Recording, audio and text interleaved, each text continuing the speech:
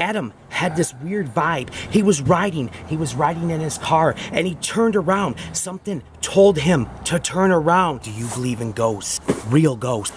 Real ghosts. It wasn't a conspiracy. It wasn't like something told him to turn around. The lady had transparent legs. She looks like a witch. A lot of people don't believe in ghosts. So what you do is you get up, you press the subscribe button, join the wickedest, cringiest fucking channel on YouTube, and together we are gonna go find a real ghost together. Are you ready for this? Are you guys ready for this? Nod yes. Are you guys ready for this?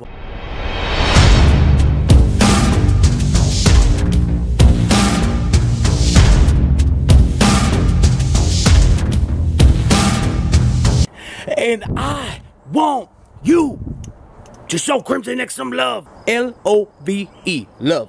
Happy Friday the 13th, motherfuckers. It's officially here. It's that day that Jason, that mass killer, be running wild. It's time to celebrate, and it's time to give my cringy motherfuckers that cringy vlog they've been fiending for. Thank you for that. I'm about to show you something that's way, way more scarier than Texas Chainsaw Massacre. More scarier than Michael Myers. More scarier than any werewolf. Guess what? We have footage. We have footage. No. Let's start that over. So, guys, a lot of people don't believe in ghosts. A lot of people say ghosts ain't real, but guess what? My buddy Adam was driving down an old dirt road, and then all of a sudden, he came to a halt. And when he came to that stop, something dragged him and something forced him to look over. And when he looked over, he caught a glimpse of a ghost. A ghost on camera, y'all. The lady had transparent legs. She looks like a witch. I'm gonna show you guys. Are you ready for this? Look at her legs. You can't tell me that her legs are not transparent. Look at that shit. That looks like some old gypsy bitch or something. That shit's fucking freaky. I am Krimzon X. You guys are the Cringe Gang. And together, we are the Cringe Movement. Old, old, I'm talking about old school. Old school. Check this out. This is the original, first ever.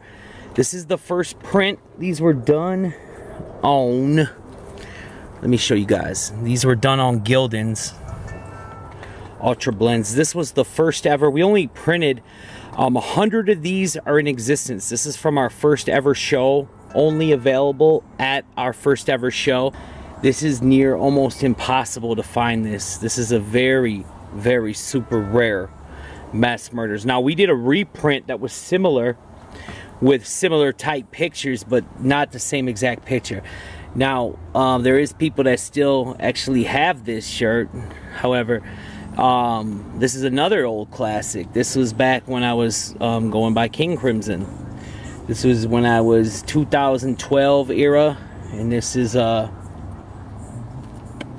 of course, when Facebook was still popping.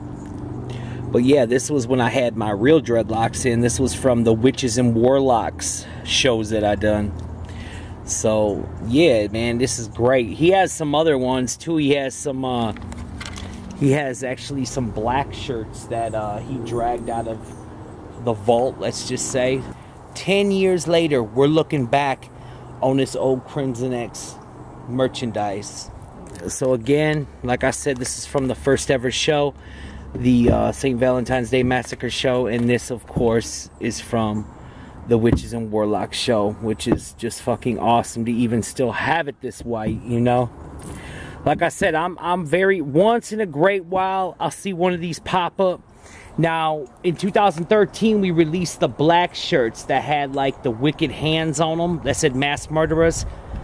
Uh, and we printed over a thousand of them shirts. I rarely see them anymore. Um, and them shirts used to be everywhere. Um, there is so many different styles and so many different, uh, you know, different ones from the collection. And like I said, if you have this one, this is super rare and super props to you if you still got that fucking shirt. Blood spiller.